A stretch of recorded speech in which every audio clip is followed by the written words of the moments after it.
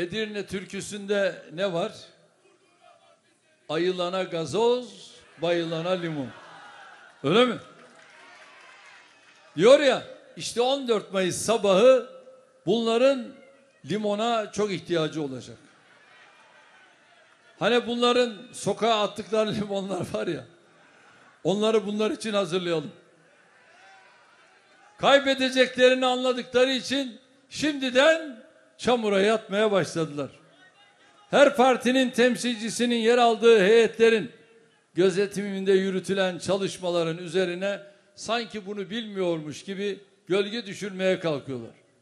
Bilhassa teknolojik imkanların böylesine geliştiği bir dönemde artık bu numaralar bayatladı.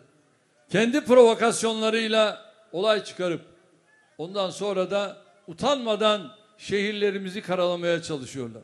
İşte dün İstanbul'u gördünüz. 1 milyon 700 bin insan Atatürk Havalimanı'ndaydı. Milleti tahrik ederek buna güçleri yetmeyince tahkir ederek yaşayacakları hezimete şimdiden kılıf arıyorlar. Resmi rakamı aldırdım. Şu anda Edirne'de karşımda 25 bin kişi var.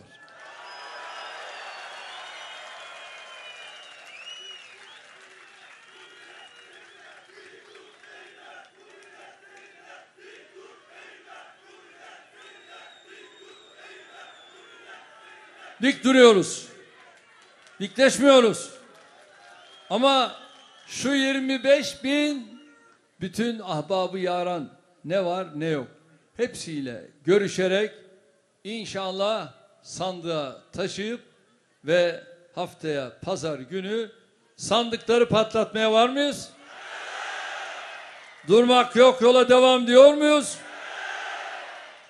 Aynı senaryoyu bir önceki seçimlerde de bunlar sahnelediler.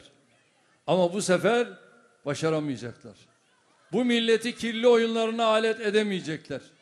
Ezeli ve ebedi kardeşliğimize leke süremeyecekler.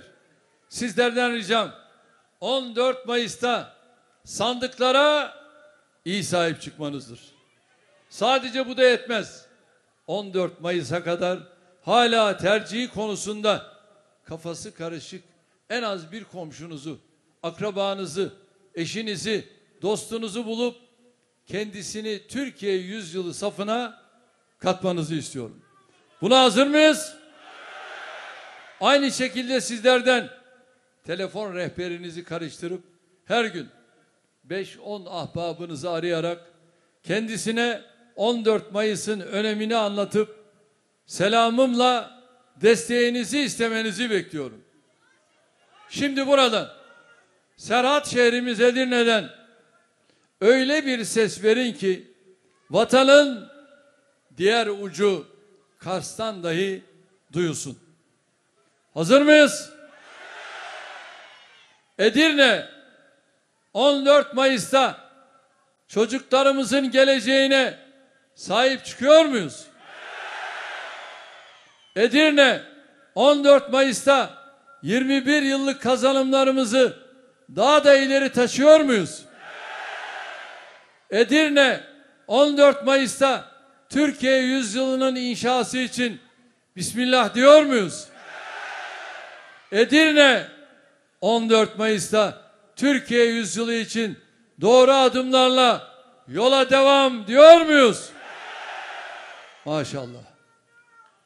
Trakya'nın kadim şehri Edirne'ye de böylesi yakışır.